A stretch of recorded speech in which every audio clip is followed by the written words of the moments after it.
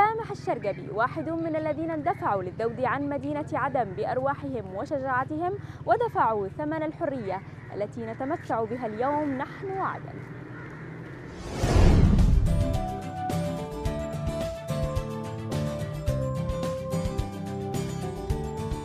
طالب جامعي لبى نداء الواجب الوطني للدفاع عن مدينته عدن أثناء تعرضها لاجتياح مسلح من قبل ميليشيا الانقلابيين خلال العام 2015 ميلادية. والله في وحوش. السعدين سامح جميل ما شاء الله شباب. صلاح الدين ما شاء الله. كان الشاب سامح جميل الشرجبي أول الملتحقين بركب المقاومة الشعبية في عدن خلال الحرب الأخيرة وأكثر المستبصرين في جبهة القتال متسلحا بحب الوطن كغيره من شباب مدينة. عدن.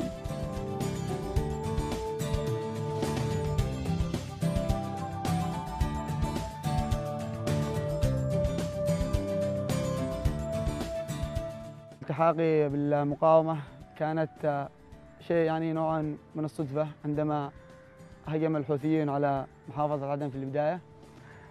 بعد ذلك آه، قمنا خرجنا نحو الشباب آه، من حينا يعني قلنا بنخرج نشوف يعني الجماعة أصحابنا يعني لا فين وصلوا كانوا خرجوا. بعد ما المساجد كبرت ونادت بالجهاد. فأول ما بدأنا بالخروج نسبيا كان الأمر آه، صعب علي لأننا كانوا البيت أول حاجة يعني مش متعودين على هذا الشيء يعني.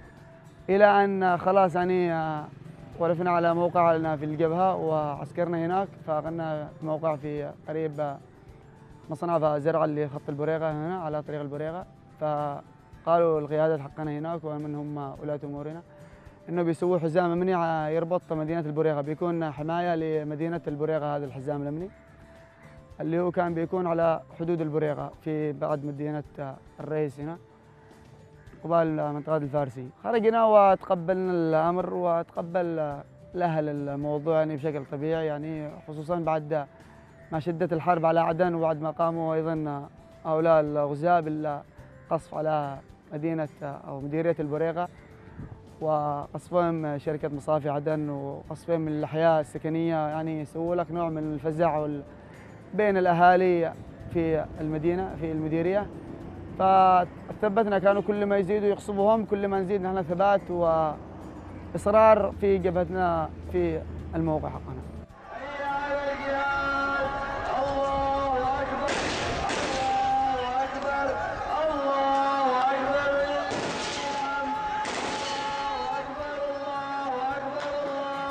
في ليلة رمضانية وقبل أيام من تحرير عدن كان سامح يصنع النصر مع زملائه المقاومين في جبهات القتال. وما إن علم بهجوم مباغت لميليشيا الانقلابيين على أحد مواقع المقاومة إلا وبادر مع مجموعة من الشباب بالتصدي له وكانت اللحظة التي غيرت مسار الحياة بالنسبة لسامح. فهذيك اليوم اجالنا طلب إنه يروح لنا تعزيز هناك في جبهة بير أحمد. ورحنا رابطنا هناك يوم في هجمة ذاك الوقت على المعسكر هو 30 اللي فيه بو الجنود المخلوع علي عبد الله صالح والجنود الحوثة في رمضان 19 رمضان كنا صايمين هجمنا. هجموا معنا خيرة الشباب وشباب هناك يعني استشهدوا ونحسبهم شهداء عند الله نصر البتول طه الصفر محمد جمال. ولا ننسى أيضا خالد رشاد. وأيضا هناك عسكريين ثلاثة واربعه أنفار من الذين استشهدوا معنا بالهجمة هم تبعنا تبع اللواء فضل حسن. فايضا جرح من جرح من أصحابنا هذيك اليوم بسبب عشوائية القصف علينا يعني لما كنا نهجم كنا كشباب ما فيش معانا يعني خبرة استراتيجية بالحرب يعني كنا نقدم يعني على الهجمة قدام قدام يعني زي ما تقولي ما فيش أي تنظيم عسكري مننا ما فيش. كانوا يقصفوا علينا بالقذائف الهاون وقذائف البي 10 وقذائف الكاتوشة للمواقع اللي نحن نهجم فيها نحن برضو إن نحن ماش كان خبرة في بنا إنه كنا ما نتفرقش العيال بيننا البين. يعني كنا نخدم مع بعض خمسة أنفار أربع أنفار يكون مع بعض. احدى هذه ال- القذائف اللي جت جت لنا قذيفة هاون. تعورنا ذاك الوقت آه، الإصابة آه الحمد لله يعني ما فيش أي شعور بالألم. بس هذاك الوقت يعني يمكن ثواني فقدان الغيبوبة ذاك الوقت صحينا يعني بس كل واحد كان أصحابنا يتفرج كل واحد الليل اللي جنبه. يعني كنا مقدلين.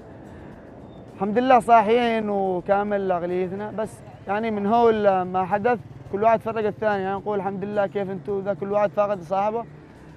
يعني الحمد لله إنه كنا في كامل عقليتنا وما كنا نشعر بأي ألم ولا كنا نشعر بأي إصابة للم بالنسبة لي أنا كانت ذاك الوقت الاصابه في رجلي حاولت إن أنا أسحب رجلي فشفت رجلي ما قدرت أسحبها لثقله. فقلت إنه يمكن الحمد لله إني قد شظيه برجلي في كسر.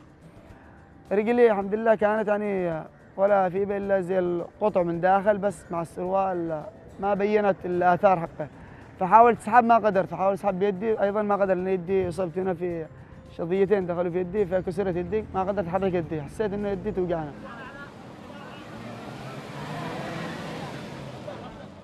قذيفة هاون لميليشيا الإنقلابيين سقطت على سامح ورفاقه المقاومين وأدت إلى كسر في يده وقطع شرايين رجله اليسرى اضطر الأطباء إلى بترها بعد يومين من تلقيه العلاج في مستشفى أطباء بلا حدود.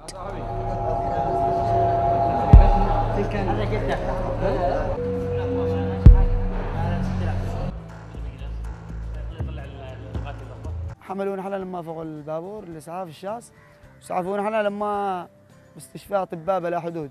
قمت من الوعي؟ وكان العيال جنبي أصحابي يعني الحمد لله اللي تعوروا كانوا معي ذاك الوقت. الحمد لله ما كانش فيهم حاجة.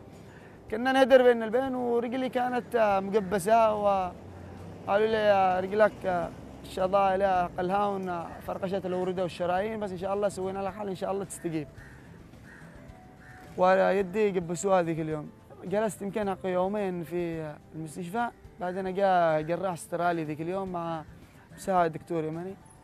والله عملوا اللي عليهم وجا قال لي الدكتور اليمني الدكتور صالح ذيك اليوم قال لي شوف الجراح الأسترالي أجي أقول لك إنه الشرايين والاورده ما استجابتش وإنه الرجل تحتاج إلى عملية بتر. قلت لهم عادي أنا ما فيش حاجة يعني متقبل واضح الدكتور ذيك اليوم صالح قال لي ما شاء الله عليك أنت واحد يعني من الحالات الغريبة اللي جيت اكلمه كذا وأنا جيت أكلمك وأنت استقبلت الموضوع يعني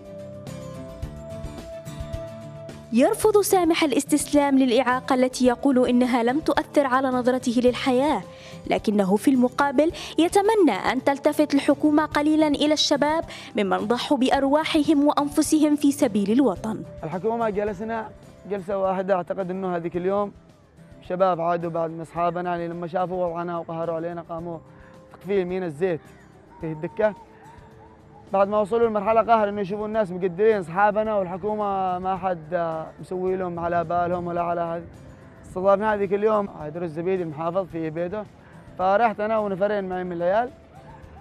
فكان الدكتور عيدر الزبيدي كان معنا واضح إلى أبعد حدود يعني. قال لنا إحنا يعني بالكلمة الواحدة. قال أنا ما فيش معي صلاحيات إنه أوفر لكم طيران. أنتم جرحى وأنتم بفضل الله ثم بفضلكم يعني قال تحررت عدن. هو الوحيد اللي أعتقد إنه من المسائل اللي يعني لفت لنا يعني وبادل نحن الشعور.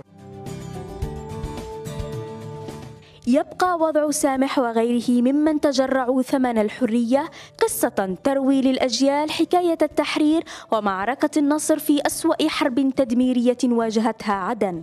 سيظل سامح الشاب الطموح المقاوم لن تعجزه الإعاقة عن مجابهة الحياة بحلوها ومرها فبمساندة من يحبونه يستمر في العطاء ولأجلهم سيبقى مضحيا متفانيا في حب عدن والوطن. كما تغلبت عدن على الميليشيا الإنقلابية تغلب الشاب سامح على جراحه ومضى في مشوار حياته. لم تمنعه الإعاقة من مواصلة تعليمه الجامعي في كلية اللغات بجامعة عدن. تخصص Business English ليحتفل بعد عام ونصف من الحرب بالتخرج مع زملائه في دفعة الأمل والتحدي. درست في كلية اللغات قسم Business English إنجليزي تجاري. ودرست سنتين يمكن وفصل. سنتين وفاصل كانت عدن عاد يعني ما بدأتش فيه بالحرب.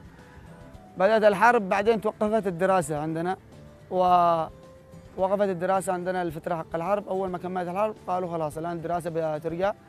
قالوا نحن أنتوا أنت يعني حالتك استثنائية وتعال الوقت اللي تقدر تجي المحاضرات المحاضرات اللي ما تقدرش تجيها. أنت بتكون مع في في يعني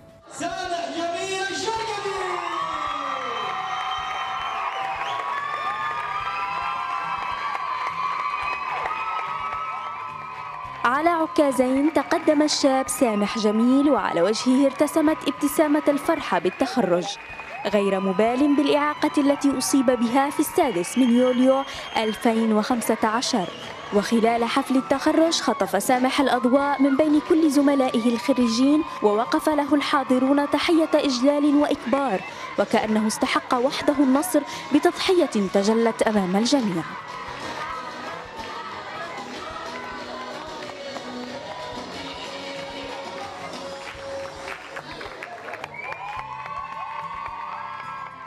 أقدم نصيحة أول شيء لمن هم بالكراسي والمناصب. أول شيء شوفوا العيال اللي مقطعين. أنا الآن نسبيا قد أكون حفلة تخرج حقي سوالي يعني ضجة إعلامية يعني وبان. بس في هناك عيال من أصحابي وفي هناك شباب مقطعين. ما حد داري وفي عيال مقطعين يداتهم في عيال مقطعين سنتين رجولهم. ما حد داريبهم ولا حد لافت لهم. أول شيء اللي بالكراسي ذونا تذكروا أنكم بتحاسبوا أمام الله على الرعية حقكم. يعني كلكم راع وكلكم مسؤول عن رعيته